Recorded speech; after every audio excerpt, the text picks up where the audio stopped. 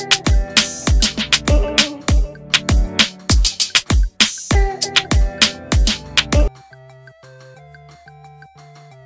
งปลื้มออฟขึ้นคอนเสิร์ตใหญ่ส่งท้ายปีเผยลุยงานเต็มที่สุขภาพดีขึ้นตามลำดับ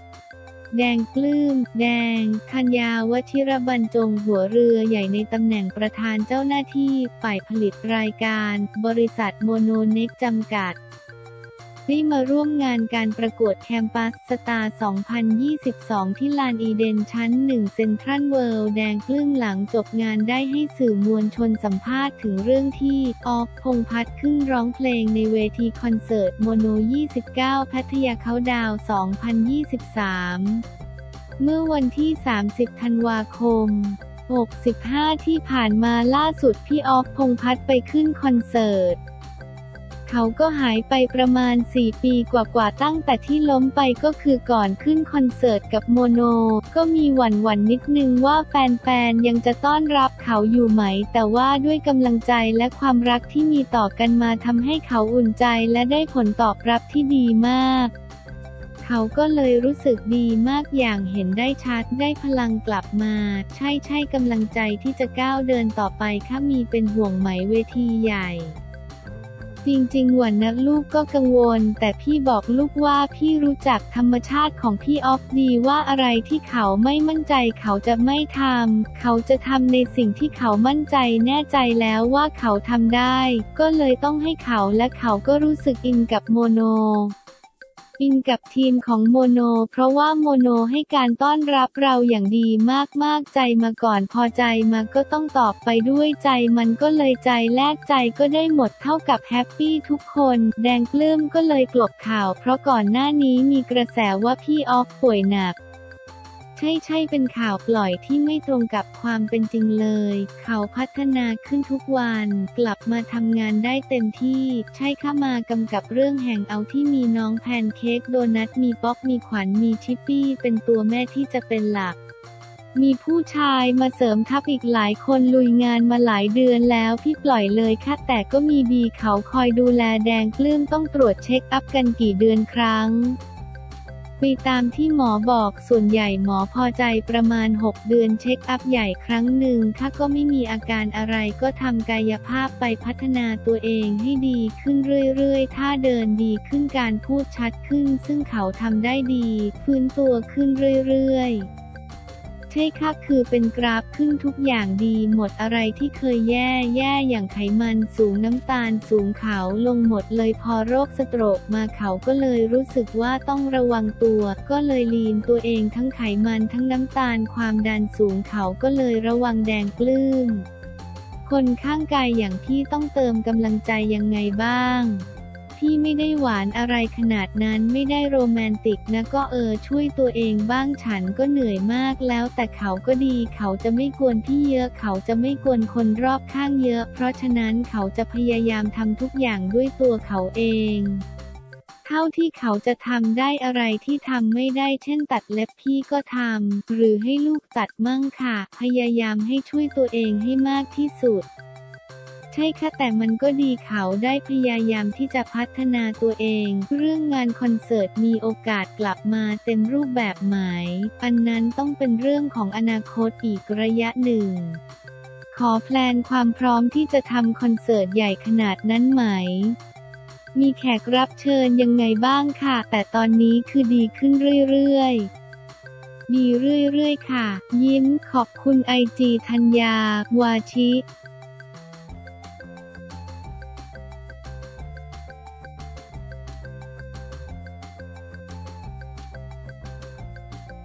เปิดประวัตินักร้องสาวใบขวัญรัชยาผู้รักเสียงเพลงหลังเสียชีวิตช็อกแฟนคลับเผยพิธีรดน้ำเย็นนี้ ข่าวไร้เฟิร์นใบขวัญเสียชีวิตกระทันหันสร้างความเสียใจสุดอะไรกับแฟนคลับเปิดประวัตินักร้องสาวใบขวัญ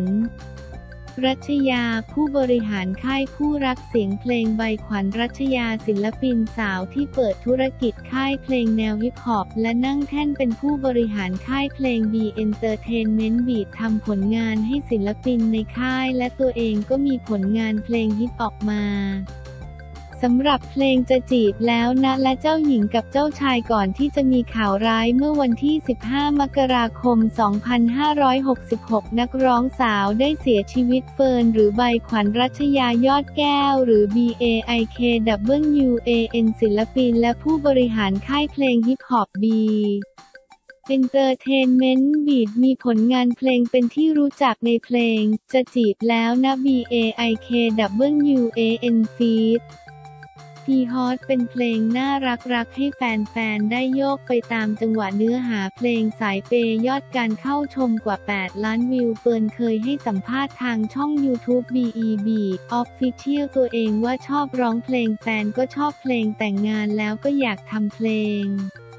อยากมีเพลงเป็นของตัวเองให้พี่เอกสุรเชษแต่งเพลงให้เพลงจะจีบแล้วนะแต่งจากชีวิตตัวเองเราชอบใครเราจีบก่อนเลยคนจะตีความว่าค่ายเพลงเป็นฮิปฮอปแต่จริงๆ อยากให้ค่ายทำเพลงได้ทุกแนวนั้น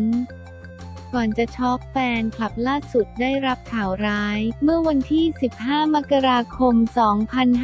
2566 Facebook ศิลปินนัทสันทิตกิติวางทองแจ้งข่าวร้ายโพสต์ภาพพร้อมข้อความช็อกการเสียชีวิตของนักร้องสาวใบขวัญรัชยาว่าผมไม่รู้จะเริ่มต้นพิมพ์ยังไงดี ผมมีข่าวร้ายที่จะแจ้งให้ทุกคนทราบครับ ตอนนี้เฟิร์นเสียแล้วนะครับ สำหรับรายละเอียดงานอยู่ด้านล่างนี้นะครับ ดอกจันขออนุญาตยังไม่ตอบหรือรับสายใด ๆ นะครับ ตอนนี้ยังไม่พร้อมจริง ๆ ครับ สถานที่จัดพิธีสวดอภิธรรมและชาปนกิจวัดพระศรีมหาธาตุวรมหาวิหารบางเขนศาลาจิรวัตรรัชนิบูรณ์พิธีรดน้ำ 16 นาฬิกา วันที่ 16 มกราคม 2023 พิธีสวดอภิธรรม คืนแรก 17 นาฬิกา 30 นาทีพิธีสวดอภิธรรม คืนที่ 2 เป็นต้นไป 18 นาฬิกา 30 นาทีพิธีชาปนกิจในวันเสาร์ที่วันที่ 21 มกราคมเวลา 13 นาฬิกา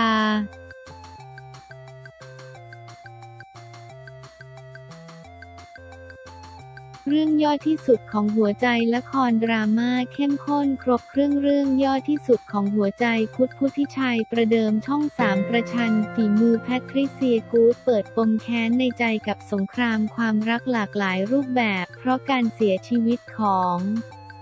ประวีทายาทคนเดียวของประวิทย์จังวาง ประวาดมหาเศรษฐีด้านอสังหาริมทรัพย์ทำให้อารีวันได้รู้ความจริงว่าสามีที่จากไปกระทันหัน มีชลิตาเป็นเมียอีกคนที่สำคัญยังตั้งท้องอ่อนๆพร้อมๆกับเธอ ประวิทย์ที่เพิ่งสูญเสียลูกชายหันมาตั้งความหวังกับทายาทที่กำลังจะเกิดมาเพื่อสืบต่อทั้งธุรกิจและตระกูล แต่อริวันกลับได้ลูกสาวชื่อว่าอัญมณีส่วนชลิตาเสียชีวิตหลังจากคลอดชนุดลูกชาย แน่นอนว่าคนที่ได้รับสิทธิ์เป็นทายาทอาณาจักรจังวางประวาดคือชนุดหลานชายที่ประวิทย์ต้องการ ที่สุดของหัวใจอารีวันกับอัญมณีหมดความสำคัญกลายเป็นเพียงผู้อาศัยในบ้าน ถูกกดขี่จากประวิง ลูกสาวอีกคนของประวิทย์ที่เสนอตัวดูแลชนุดเพราะรู้ดีว่าถึงแม้ตนเองจะมีลูกชายอย่าง เทวริศเป็นหลานชายอีกคนแต่หลานนอกไม่มีทางสำคัญเท่ากับหลานในอย่างชนุดความน้อยเนื้อต่ำใจทำให้อัญมณีพยายามเอาชนะชนุดตั้งแต่เด็ก เพราะต้องการให้ประวิทย์เห็นว่าผู้หญิงอย่างเธอมีดีกว่าที่ปู่คิด แต่สุดท้ายอัญมณีทนไม่ไหวตัดสินใจออกจากบ้านจังวางประวาสเดินทางไปเรียนต่อต่างประเทศพร้อมเปลี่ยนชื่อนามสกุล และประสบความสำเร็จในฐานะของด็อกเตอร์แอนจางสาวสวยดีกรีปริญญาเอกเศรษฐศาสตร์ ที่มีแต่คนต้องการเชิญตัวไปร่วมงาน ที่สุดของหัวใจผ่านไปเจ็ดปี อัญมณีตัดสินใจกลับมาไทยเพื่อเป้าหมายต้องการพิสูจน์ให้ปู่เห็นว่าผู้หญิงก็มีความสามารถไม่แพ้ผู้ชาย โดยพักอยู่คอนโดมิเนียมของเกตเพื่อนสนิทที่คบกันมานานที่นี่เธอได้พบกับเกื้อคุณผู้ชายที่อาศัยในคอนโดมิเนียม เดียวกัน แต่เพราะมีเรื่องเข้าใจผิดทำให้อัญมณีคิดว่าเขาเป็นพวกโรคจิตจากความบังเอิญเกื้อคุณเริ่มสนใจอัญมณี เลยพยายามสร้างสถานการณ์ให้ได้เจอกับเธออีกครั้ง โดยที่ทั้งคู่ไม่รู้เลยว่าจะต้องมาทำงานร่วมกันที่ซีอิสรา เพราะอัญมณีอยากเอาคืนที่ปู่ไม่เคยเห็นคุณค่า จึงตอบตกลงรับตำแหน่งที่ปรึกษาให้กับโครงการการเจรจาร่วมทุนของซีอิสรา และ JP บริษัทของปู่ที่ชนุดดูแลอยู่ที่สุดของหัวใจเกื้อคุณคือหลานชายที่กมลาดมอบหมายให้รับผิดชอบโปรเจกต์ร่วมทุนนี้ เพื่อให้เกื้อคุณเผชิญหน้ากับความจริงจะได้ตัดใจจากพิมรตา อดีตคนรักเก่าที่ทิ้งไปเลือกแต่งงานกับชนุปัญญมณีปรับแผนทันทีเมื่อรู้ว่าเกื้อคุณคือใครสำคัญกับธุรกิจของตระกูลจังวางประวาดมากขนาดไหน ความคิดที่จะใช้เกื้อคุณเป็นเครื่องมือในการแก้แค้นปู่ก็เริ่มขึ้น ส่วนเกื้อคุณในขณะที่ความสัมพันธ์กับอัญมณีคืบหน้า อดีตก็กลับมาหลอกหลอน เพราะพิมรตาคอยมาวนเวียนเรื่อฟื้นความหลัง ทั้งที่ยังอยู่ในสถานะภรรยาของชนุดแม้ว่าเกื้อคุณจะพยายามถอยห่าง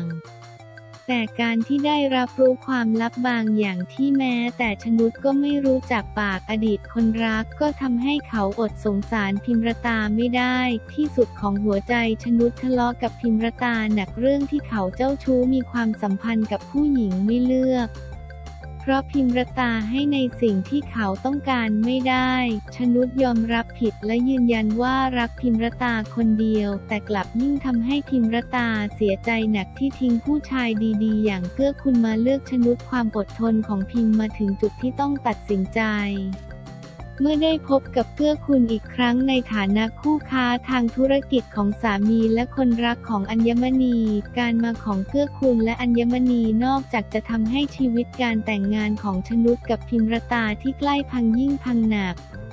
ยังส่งผลกระทบต่อทุกคนในตระกูลจังวางประวาดในแบบที่ใครก็ไม่คาดคิดบทสรุปความรักที่มาพร้อมการแย่งชิง ความรักสามเศร้าของเราสี่คนและครอบครัวที่ซ่อนความลับเอาไว้ จะเป็นยังไงติดตามชมได้ในละคร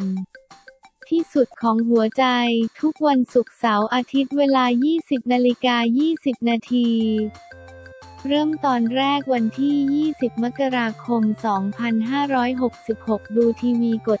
33 ดูมือถือกด 3 plus ละครที่สุดของหัวใจ